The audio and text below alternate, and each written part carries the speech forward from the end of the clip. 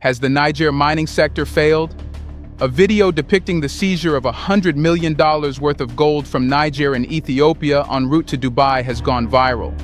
Despite the apparent challenge, Niger has shown resilience and is confronting all obstacles. The leadership has made bold decisions that have surprised the entire world, and some of these choices have led to a decline in Niger's mining sector. However, these tough decisions were taken to address the flaws within the mining sector. But what exactly did they do? Let's find out.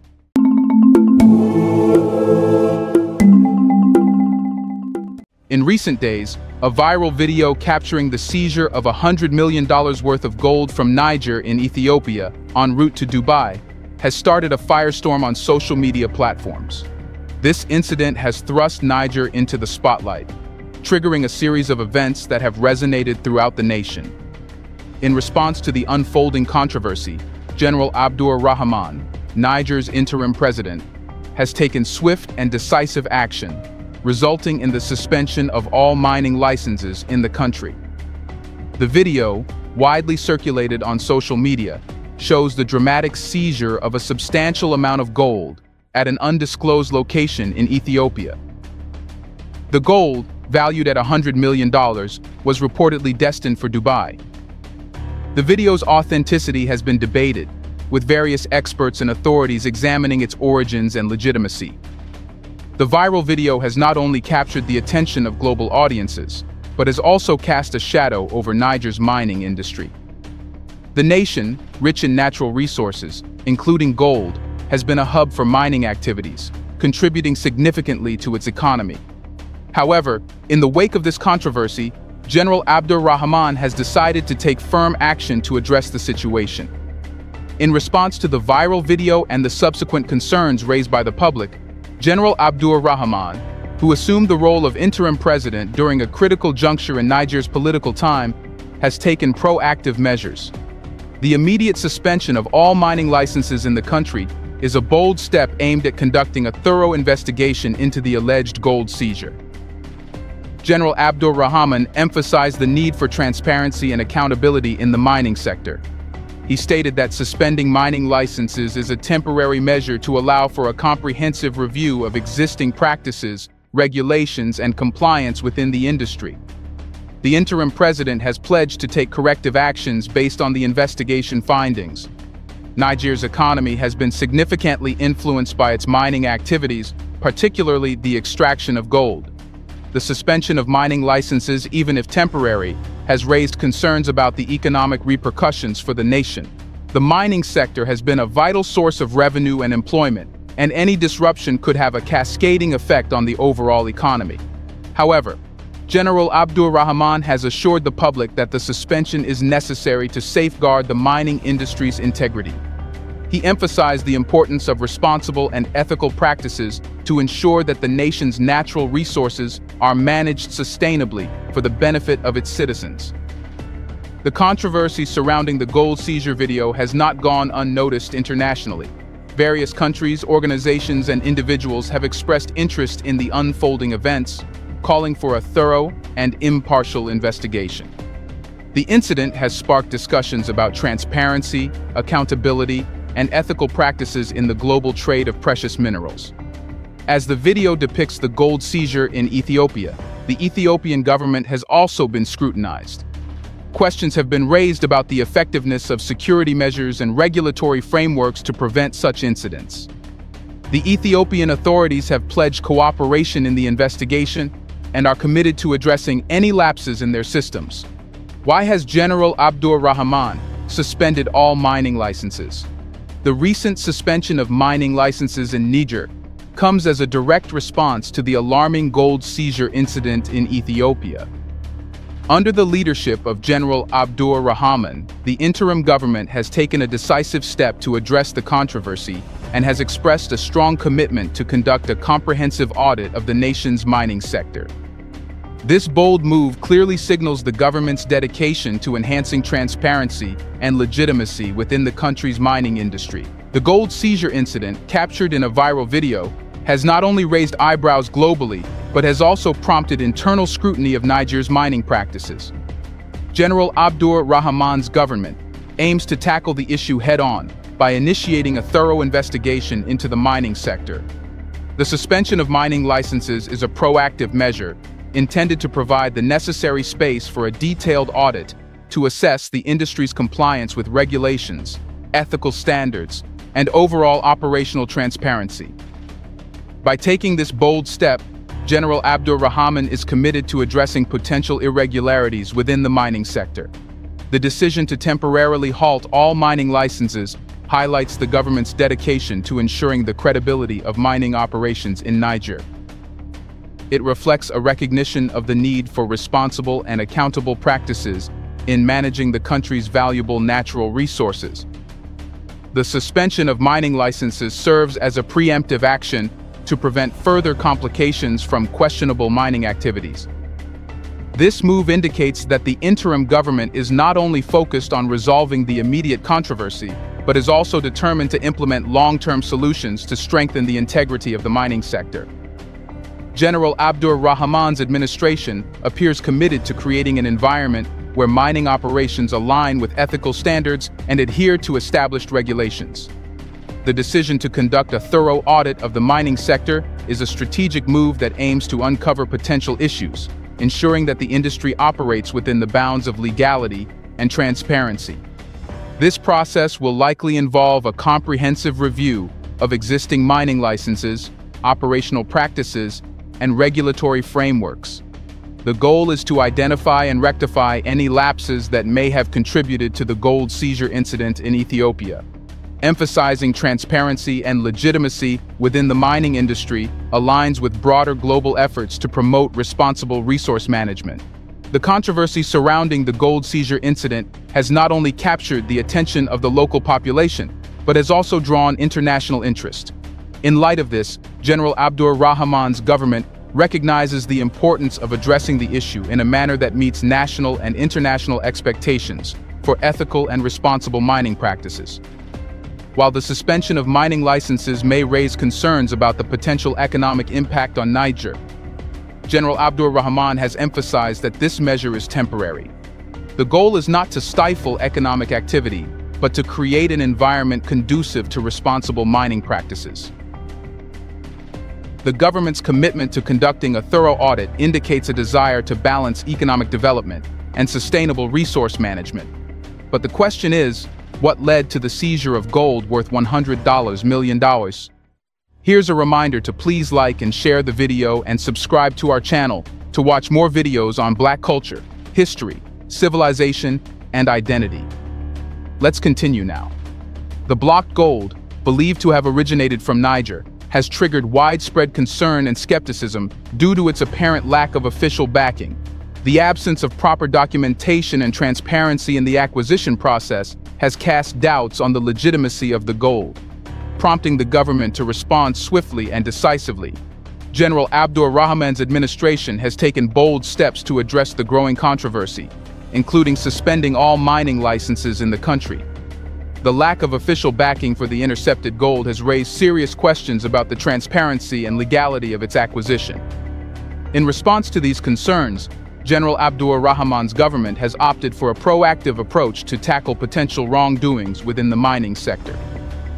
The decision to suspend all mining licenses clearly indicates the seriousness with which the government views the situation. This measure is aimed at addressing the immediate issue, and conducting a thorough examination of the broader mining industry.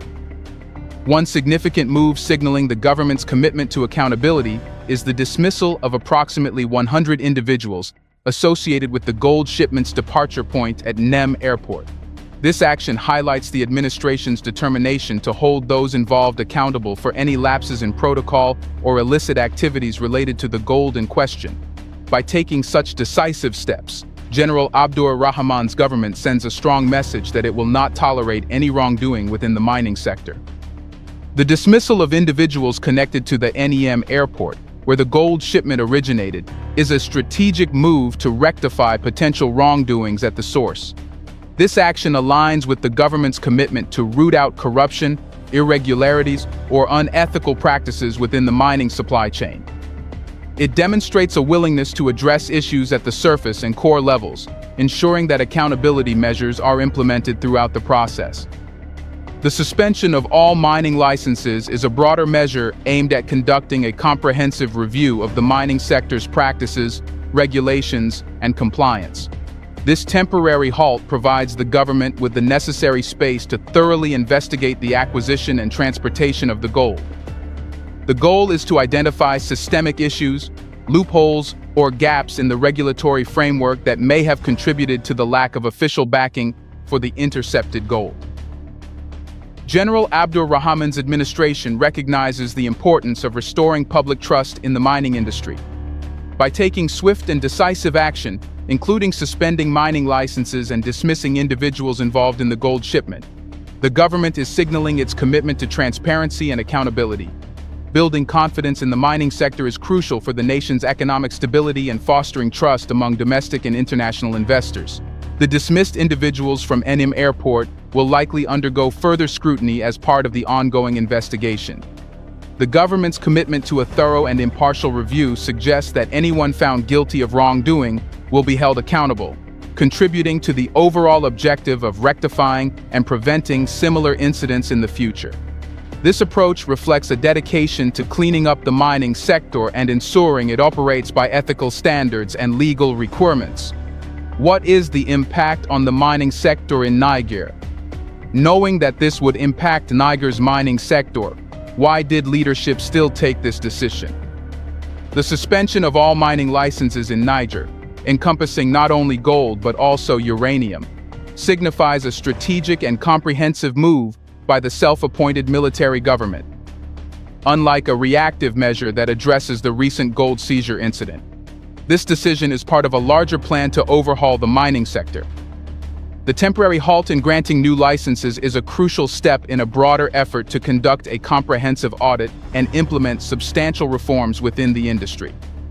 The decision to suspend licenses for uranium, a key resource in Niger's mining portfolio, underlines the depth of the government's commitment to restructuring the sector. Uranium holds particular significance for Niger, as the nation is renowned for its substantial production in the global uranium market.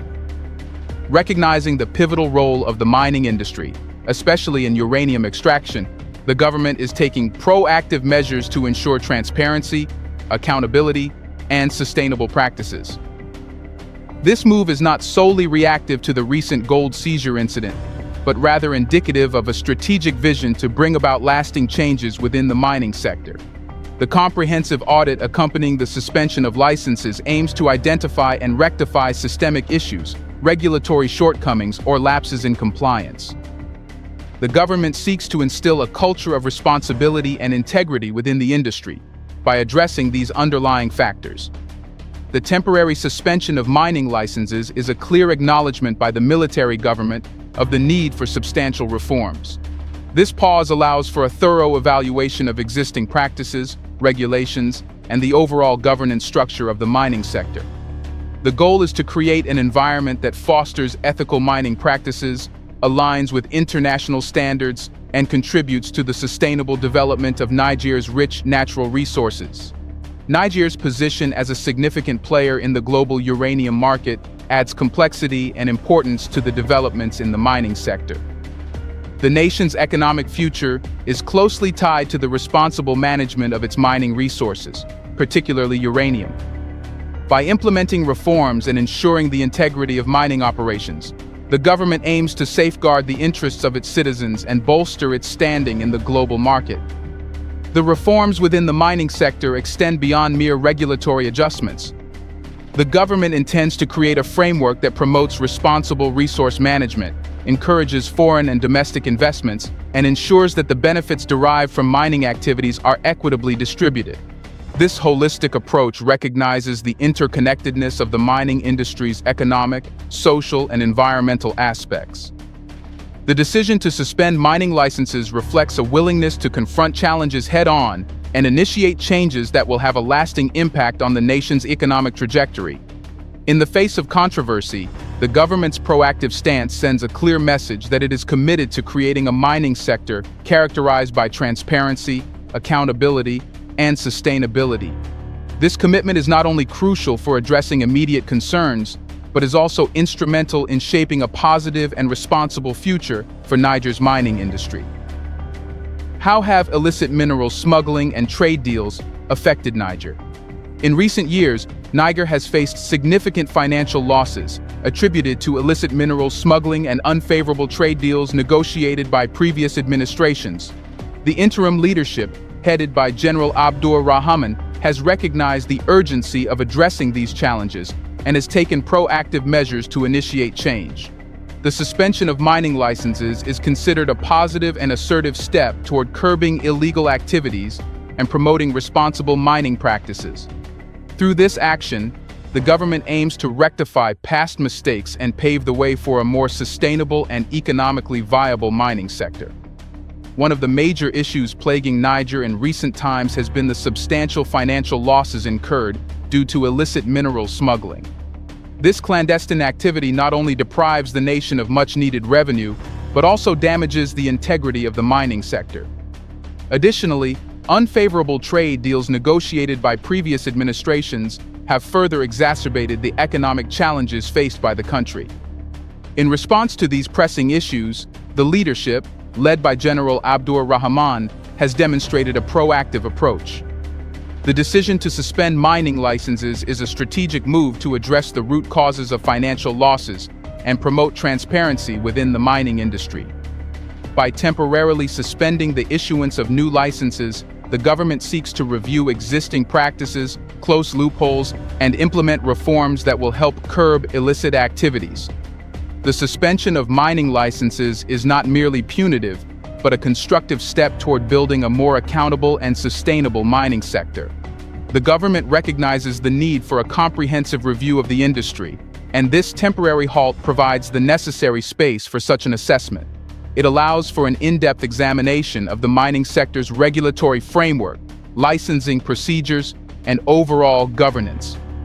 The decision to suspend mining licenses is viewed positively by many as a commitment to rectifying past mistakes. It signals the government's intent to break away from the legacy of illicit activities and unfavorable trade deals that have hampered the country's economic progress. General Abdur Rahman's administration is actively working towards creating an environment where responsible mining practices prevail, ensuring that the benefits of the country's natural resources are maximized. Promoting responsible mining practices is a key objective of the government's strategy. By doing so, the interim leadership aims to restore public confidence in the mining sector and attract investments contributing to sustainable economic development. The suspension of mining licenses is symbolic, demonstrating the government's dedication to fostering a transparent and accountable mining industry. As part of its broader efforts, the government will likely conduct a thorough audit of the mining sector during the license suspension period, this audit will help identify and rectify past irregularities and lay the groundwork for a more robust and well-regulated industry. The goal is to create a framework that deters illicit activities and encourages responsible mining practices, benefiting the nation and its citizens. What changes can be expected in the mining industry after all this? As the audit and overhaul of Niger's mining sector are currently in progress, there is a sense of anticipation regarding the comprehensive reforms that may be introduced to foster sustainable and responsible mining practices in the country. The government's commitment to transparency and legitimacy within the industry marks a significant shift and signals a new direction for Niger's mining sector. The long-term implications of these changes will be contingent on the findings of the sector audit and any subsequent regulatory adjustments implemented by the government. The ongoing audit of the mining sector is a crucial step in the government's effort to understand the industry's difficulties thoroughly.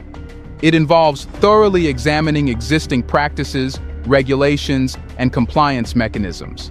This comprehensive review aims to identify areas where improvements can be made to ensure responsible resource management, ethical mining practices, and adherence to international standards. The anticipation of comprehensive reforms arises from the understanding that the audit is not a superficial exercise, but a strategic initiative to address systemic issues within the mining sector. The government's commitment to transparency and legitimacy suggests a willingness to confront challenges head-on and to make the necessary adjustments for the long-term benefit of the nation. The envisaged reforms may encompass various aspects of the mining industry, this could include refining licensing procedures, enhancing regulatory frameworks, and strengthening oversight mechanisms. Additionally, there may be a focus on promoting community engagement, ensuring that local populations benefit from mining activities, and implementing measures to mitigate environmental impacts. The government's commitment to transparency is particularly crucial in rebuilding public trust in the mining sector. By prioritizing openness and legitimacy, the authorities aim to foster a sense of accountability and responsibility within the industry. This, in turn, could attract more domestic and international investments, contributing to the nation's economic development. The success of these reforms will hinge on the willingness of the government to act on the findings of the audit and to implement necessary changes. If the audit identifies systemic issues or regulatory gaps, it will be imperative for the government to take corrective measures promptly. Effective and timely implementation of reforms is essential to ensure the sustainability and success of the mining sector overhaul.